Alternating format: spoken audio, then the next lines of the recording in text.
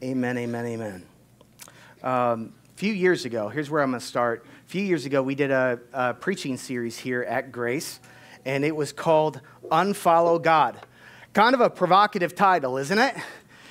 Um, it's, it's kind of a social media idea, and it's, it, it, it almost, uh, in, in, a sense, makes it sound like we're saying unfollow God. That's not the point. We're, what we're saying is people unfollow God. There are people who are close to God, know God, and at some point along the way in their faith, they decide to walk away from Jesus. And so we explored four big reasons why people sometimes walk away from the church and walk away with Jesus. And we took a week preaching on every single one of those. I would recommend going back and finding this one. It was a very interesting series to do. Here is the first reason. I'm just going to give you an overview. Number one, I transitioned to adulthood. That's why I unfollowed God. I, I, I, entered this period of time where this had been my parents' faith, and I was raised in the church, but I wasn't sure whether or not I believed everything that mom and dad believed in.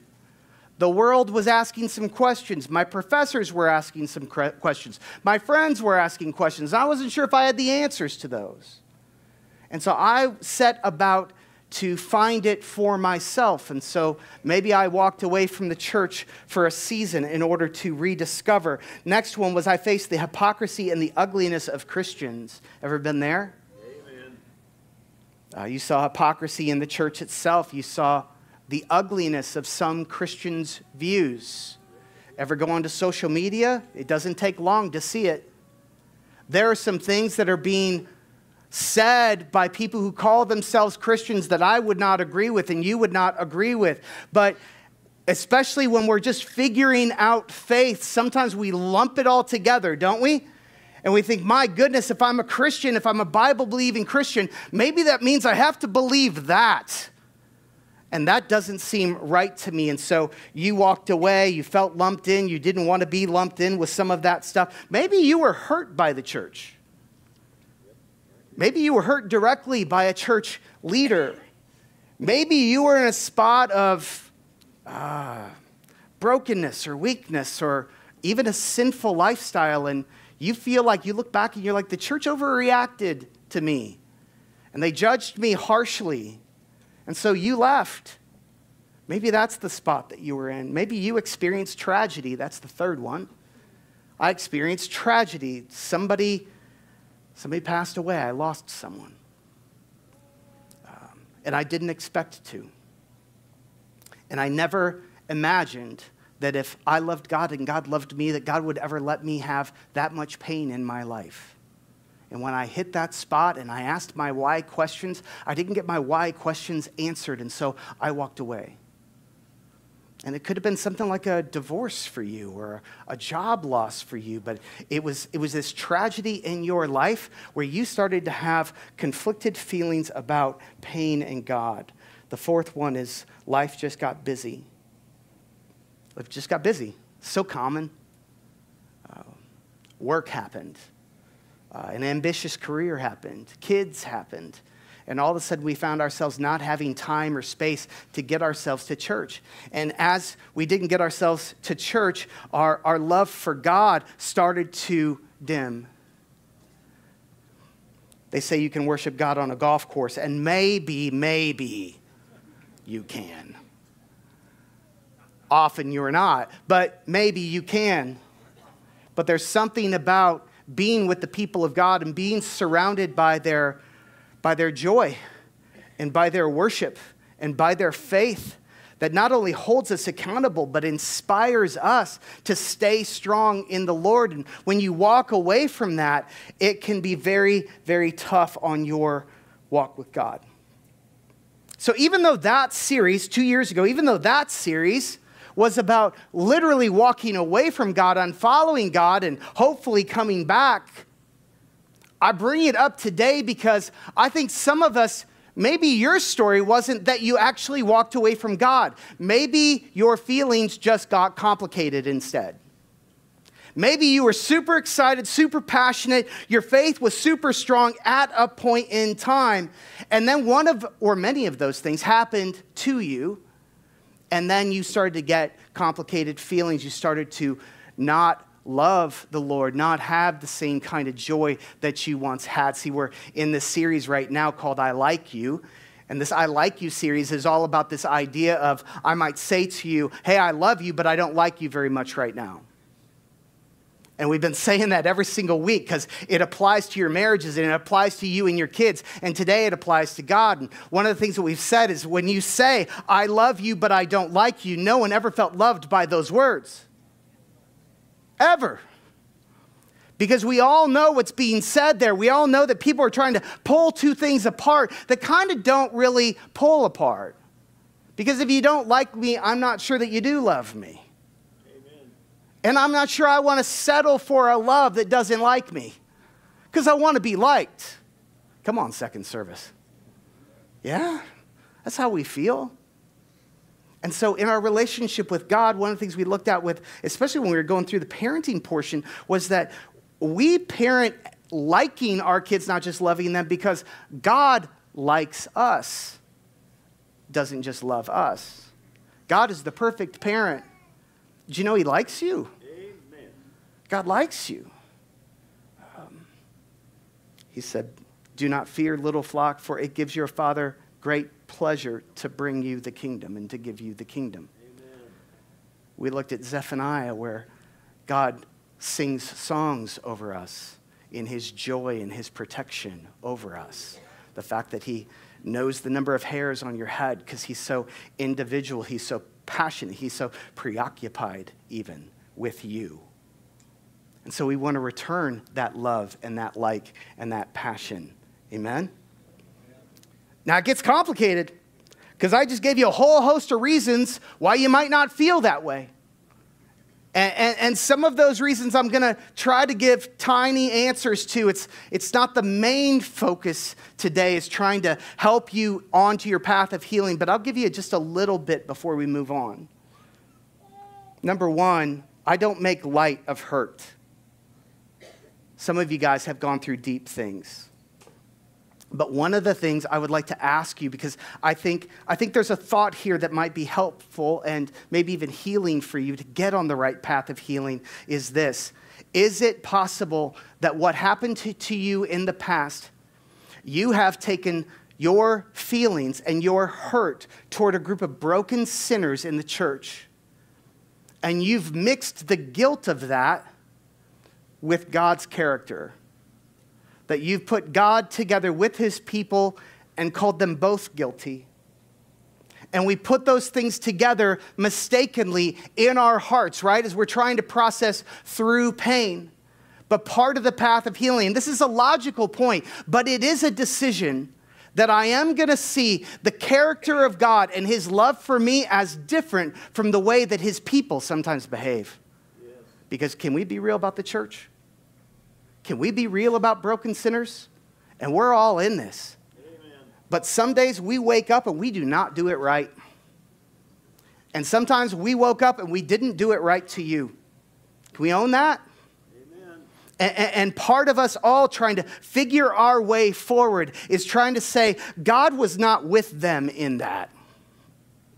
Hmm. Another thing to consider if, if Maybe for you, it was the death and the tragedy and losing a loved one and asking God your questions why. I'll just say this I've been trying to follow Jesus for about 30 years now. And I've known a lot of people, and I've seen a lot of people go through crisis and go through their dark night of the soul. And man, and it's, it's a deeply mysterious place. The ones that go through that dark night of the soul and they get closer to God or they find their healing, this is one thing that I always see them do, the choice I always see them make is they lay down their why questions to the Lord and they decide to trust. And some of you have heard from others that sometimes you'll ask your why questions to the Lord, and sometimes He'll give you reasons why. But most of the time, the reasons don't come he gives you Himself instead. Amen. And He asks you to trust Him. And in that kind of pain, I say this with fear and trembling to you to make the choice to trust Him anyway. Yes. it's, it's the path to peace, it's the path to healing. I don't want to make light of it. It's the path that Job took, Abraham took, Joseph took, all the saints did. I want to give you a word that we're going to use quite a bit today. The word is conflate. Say conflate. Conflate. Um, it's a word that one of our elders, Kobe Edwards, uses with me a lot. Don't conflate these two things. Don't mix these two things when they shouldn't be mixed. Conflate just means to mix some things like ingredients and make a new thing. And, and, and the, the real, if, if, if you get into this, the Latin beneath it is to, to it, it's like inflate, but conflate. It's, it's to blow together two different things, almost like you would, you would blow glass together and you would fuse two different objects together into one. There's, there's so much fun stuff there. But anyway, you're mixing stuff. And sometimes you're conflating or mixing some things that shouldn't be mixed. Again, like the guilt of God's people and the guilt of God Himself. You've conflated those two things, and, and, and, the way forward toward healing is to separate those two things back out again. One of the things I think for us as Christians, one of the reasons that we lose some of the passion and the love for God that we used to have is because we've conflated some other things. For instance, we, we conflate being a servant of God and being the friend of God. We conflate obedience and duty with loving and liking and adoring God. And sometimes we bring all those things together and say they're the same thing, and they're actually not. So you actually wear a lot of different hats in your Christian life with God. You are a child of God. You are a servant of God. You are a soldier of God. You're a saint of God. You're all of these things, and you are a friend of God. Even in your human relationships, you do that, right? Like you have a lot of different roles that you play in your marriage. Here's the thing you better know which one is the main one. You have a lot of different roles that you play as a parent with your kids. You better know which one is the main one. Jesus is going to pick this apart in a passage. I'm going to give this to you. John 15, 15. Through that lens, look at what Jesus is saying here because it's, it's massive. Now, he says this, this is at the Last Supper, right before he goes to the cross. Him and his 12 disciples, and they're sitting there, and he says this He says, This is my commandment, that you love one another as I have loved you. Greater love has no man than this that someone laid down his life for his friends. Now, his word friends there, it's the first time he's going to say it. This is going to be massive. And what Jesus is going to say is this is the hat that matters the most with you and God. Friend, you are my friends if you do what I command. No longer do I call you servants, for the servant does not know what his master is doing, but I've called you friends. For all that I have heard from my Father, I have made known to you. Now, that's a lot of brainy stuff in there. Maybe you're trying to pull it all apart right now. Let me just, you can go back and read it later. I'm just going to tell you the main point there. Jesus was used to looking at Christians, to looking at God's people and saying, I know you see yourself as the servant of God, and that's good. Like that, that, should, that should flow out of our love for Him, right? Like God has saved us. I will devote my life to Him. I'll do whatever He tells me to do, right? Like, Jesus, if you want to send me to Africa, send me to Africa. Let's go. Right? Like, you want me to be a missionary in some foreign land? I will be a missionary. Like, I will be in a monastery. Like, you tell me what to do, I will do it. Because I radically saved, like, I didn't deserve, and now you gave, and yes? Like all of that should flow. But he's saying that you being a servant of God, that's not the main hat. The main hat is you're the friend of God and you love God and God loves you. And that's actually the first thing. And don't lose sight of the fact that that's the first thing. In Exodus 33 11, if you're taking notes, I'm not going to have this one on your screen. It's talking about the relationship of God and Moses in the Old Testament. Moses, who was at the burning bush. Later on, as it describes the relationship between Moses and God, it says that God spoke to Moses face to face as a man speaks to a friend. Friend is a big word in the Old Testament. It only gets used for a few of the saints or patriarchs in the Old Testament. Abraham in James 2:23 and in several other spots too was called the friend of God. God didn't just hand out that title to anybody. Abraham, Moses, and now Jesus does come to his disciples at the last supper and said, "You're my friends." And I'm not calling you servants anymore. Let that set in. Because he's also saying it to us. The point of today's message is we need to refine this again to be the friend of God. Not just good Christian soldiers. Anybody grew up singing that? Onward Christian soldiers? Amen. It's part of it, but it's not the main thing. And we got to know what the main thing is because the main thing is what's supposed to bubble over, and everything else comes from that. You are the friend of God. And this is making some of you already feel really uncomfortable in the room today because this friend stuff, it's all touchy feely, yeah? We don't like the touchy feely stuff. Just give me the logic stuff, Pastor. Just give me the stuff I can understand, the stuff I can process, the stuff I can categorize. Give me that kind of stuff. Give me something to do because that feels easier, feels better. But all the touchy feely stuff about me and God, and there's supposed to be love there, and I'm the bride of Christ, and that feels weird. And then I go into the Psalms, and it's using kind of like romantic language between me and God. Why in the world is that stuff there? Anybody else get weirded out by that? Come on. Of course we do. That is the psalmist trying to figure out language to say, this love is actually the main thing. And I know it's weird, but he's talking about real, passionate love for God, not just obedience. Amen. This is affection.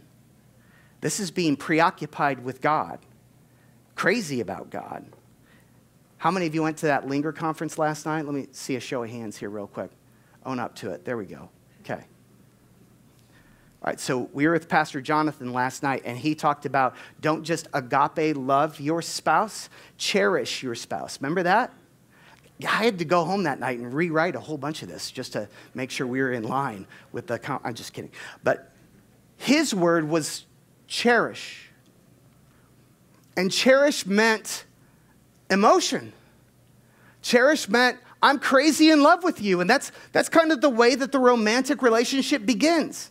And then we all kind of get used to the fact that it starts to mellow out. Don't let it mellow out. That's what he was advocating for last night. Make a conscious choice to keep cherishing, to be preoccupied with the other person. He said, even be biased toward them. Always choose them. Don't choose anybody else, just choose them. Talk them up, praise them, See their positives. Call that stuff out. Always want to be with them, yeah? Always want to be with them. He even talked about our differences, and sometimes our differences can like annoy us just a bit. And he said, Why don't you acknowledge that Creator God made them exactly this way? And don't just submit that Creator God, submit to the idea that Creator God made them this way. How about you worship God for making them this way? How about you love the fact that God made them this way? How about you adore the fact that God made my wife Linda exactly like this? It's a different level. Do you see how friendship and love is the beginning and everything else flows rightly out of it? Otherwise, we find ourselves in dead religious uh, structures all the time. It happens to us, we don't even know it's happening to us.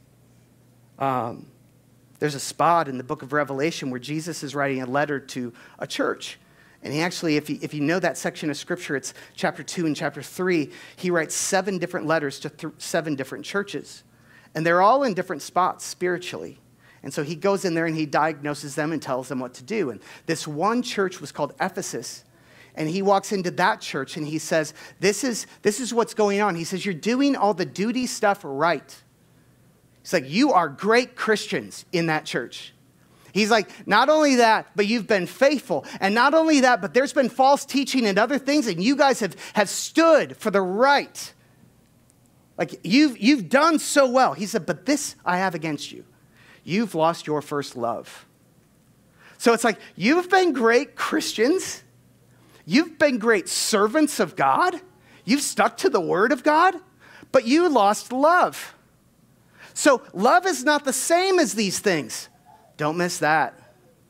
Love's this different thing that he has in mind. And he's like, when you lost your first love that was on fire in the beginning, he's like, that matters to me. He's like, if you don't get that first love back as God's people, he's like, I'll remove your lampstand from its place. And what's he saying there? Lampstand is this idea, Jesus had talked about it. When you've got the faith, when you've got this relationship with God, it's like a lamp goes up on a stand so that people can see it, so that people who are spiritually hungry, because God's made them spiritually, spiritually hungry and thirsty for the real Jesus, they will look up and say, Where's a lamp at? And they'll follow that light and they'll get to you, right? Like you are a lamp on a stand. And a church is also that way. But he's like, if you don't find your first love back, I'm going to remove your lampstand because the people that are actually hungry and thirsty, I don't want them coming to your church. Because they're not going to find the real thing. It's that serious to God. You can't be so obedient, such a servant, such Bible knowledge, and you've got all the theology down. You can't do all of those things and just skip the love and it be okay. You got to have the love. Last year, I took a sabbatical. I was gone for two and a half weeks and went to Colorado. And um, I've, I've told this church much about this and explained things. And, and some of you guys already know the story. I was in a very spiritually low place, and I needed God to bring some revival to me. And so the elders sent me away and said, Go in a cabin in Colorado and figure yourself out, Trueblood. They didn't say that. But I went there and shut off all the, the electronics no TV, no laptop, no phone, no nothing. It was just me. The puppy was there. She doesn't count in this story, at least. Um, but I was, it was just me and, and total silence and no work to do.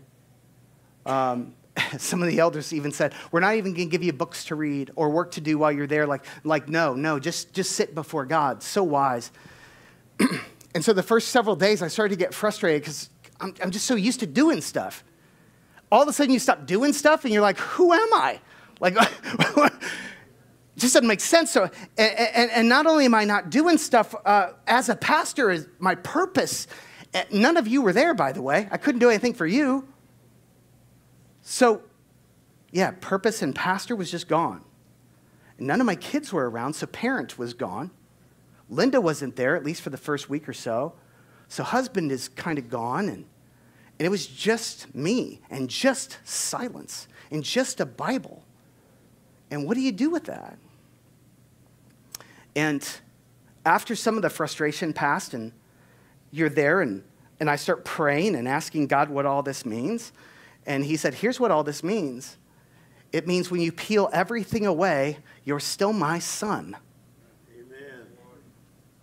When you peel everything else away, and, and by the way, you're not doing anything for me right now.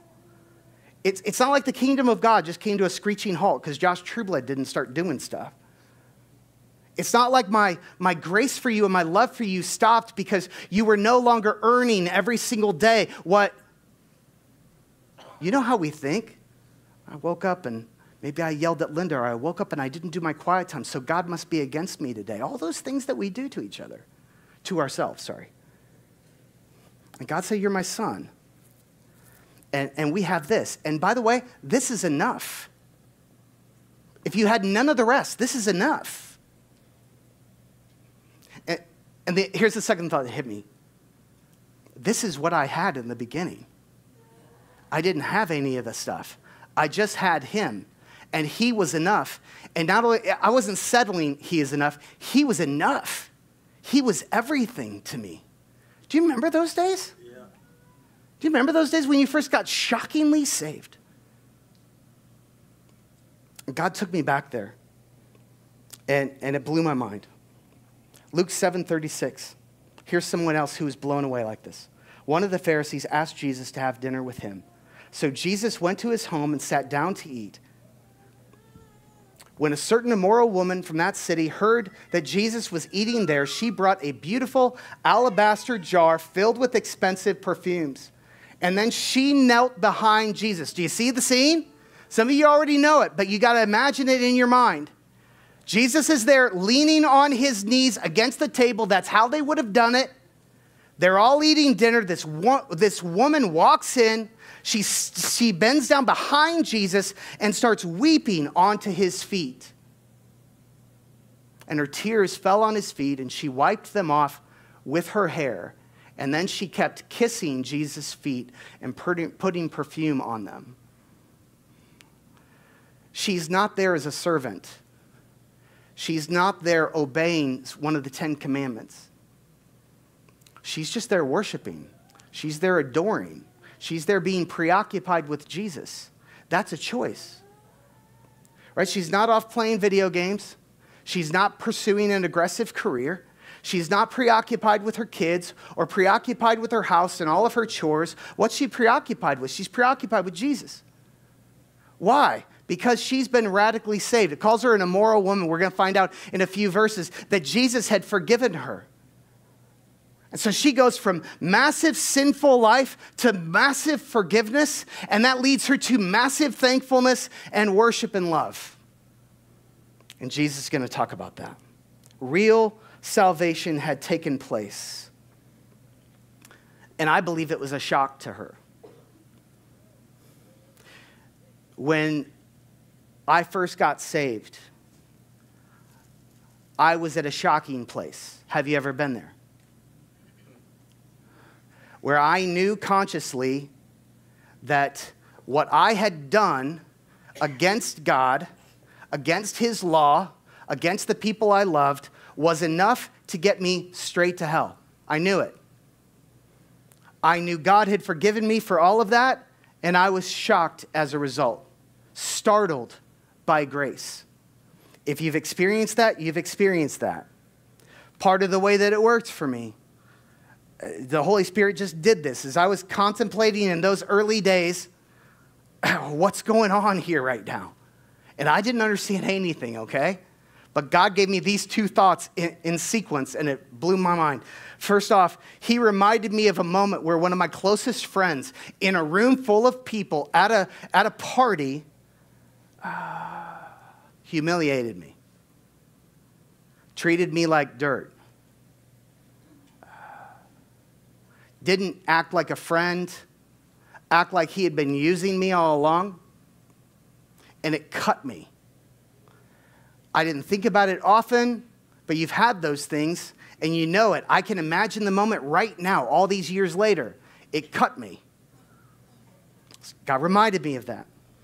And then he reminded me of this girl that I had been dating at the same exact time. And this is not Linda. I was using her.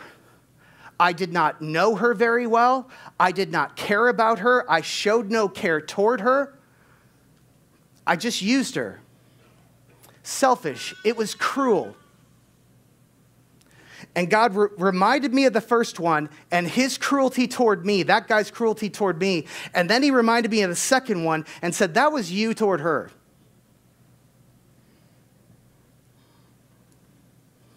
And I was guilty before the Lord. Have you ever been guilty before the Lord?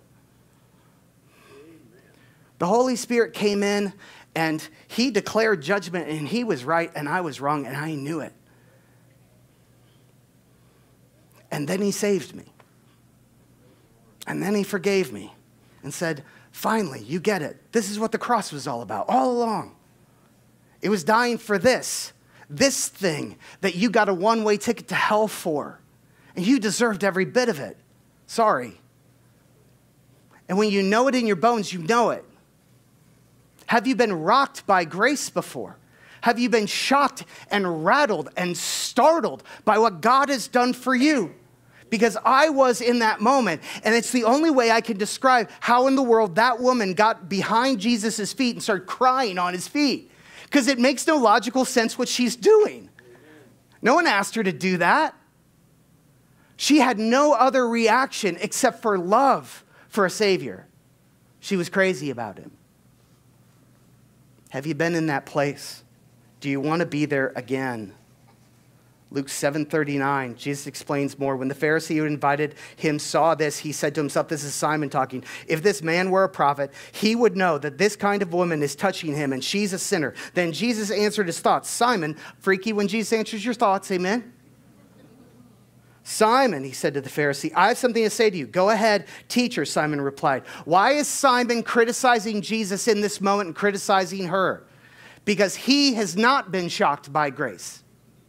He does not realize how much he's been forgiven for. It's not because he's perfectly holy, it's because he doesn't realize how much he's blown it with God.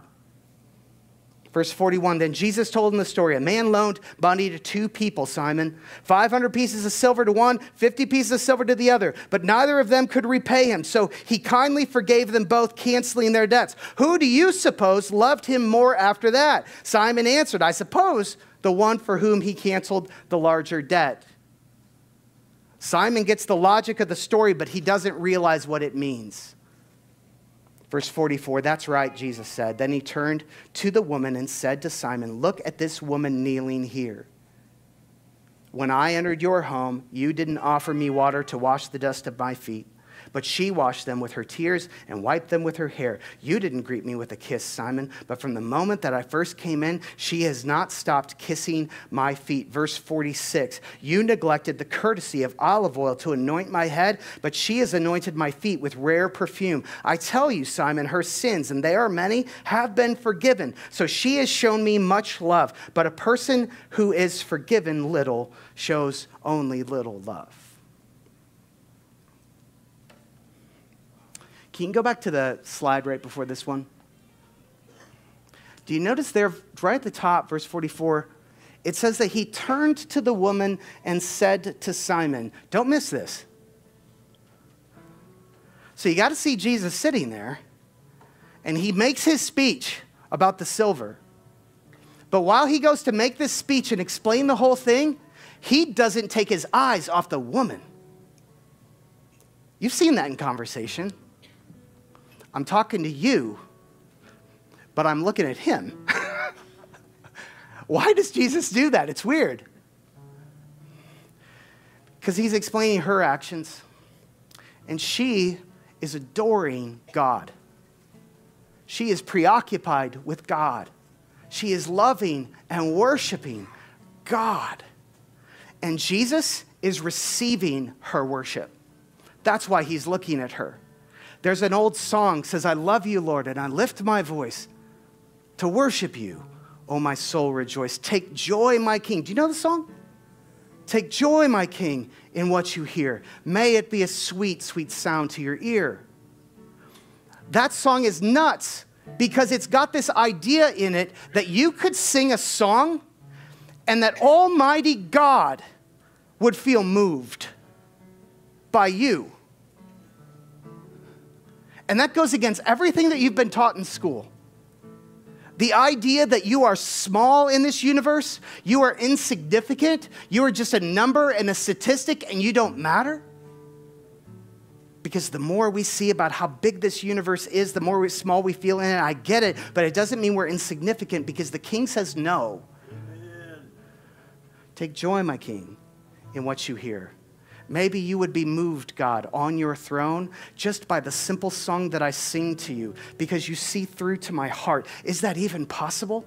Yes. Not because of the goodness of my song, but how open and good and humble and loving you are toward me, Amen. that you would see me. And Jesus shows it. He can't stop staring at her. He's receiving her worship. Let me say this. We're going to go into a time of communion here in just a second. And I'm going to give you an opportunity to give your love to God, your worship to God. Maybe God will fan into flame the fire again for you. Don't know. Maybe God will cause you to be shocked by His grace. I talked to somebody after first service, and they're like, What if I've never been shocked by His grace? If you've never been, ask Him today. Lord, would you take me to that miraculous, mysterious place of being shocked by you? For me, not someone else describing the experience that they had. For me, God, take me there. See what He does. But let me just say about the woman here, because this is some of you maybe. She's not perfect in that moment, but she is preoccupied with Jesus. And sometimes we miss what a simple choice that is. To not be a perfect person and getting everything in your life right for God, but to simply be preoccupied with Him. That's where the love is, guys. Like I'm gonna wake up and I'm gonna go to bed and I'm gonna give Him my heart, give Him my attention. I'm gonna choose Him and I'm gonna not choose some other things and I'm going to go to him. She was preoccupied and not perfect. When she's sitting there crying and weeping over his feet, do you think everything in her inside was like all of her thoughts? Do you think they were all well ordered and saintly? I don't know that they were. Maybe she had a lot of doubts. Maybe she was feeling some humiliation. Maybe she's sitting there weeping and, and, and she's loving Jesus and she's, she's thankful for everything that he's done, but she's simultaneously wondering, what does this Pharisee think of me? Maybe all of that was going on. Can I, I just want to say that because for some of us here in the room, we can get like that. We can go to bring our offering, we can bring our prayer, we can bring our communion to God, and you can sit there and you can judge yourself in your seat and say, I don't feel very saintly right now. So maybe this isn't love. Just be preoccupied with Him. Yes? I'm going to pray, and then Jeremy's going to come up and he's going to walk us through communion together.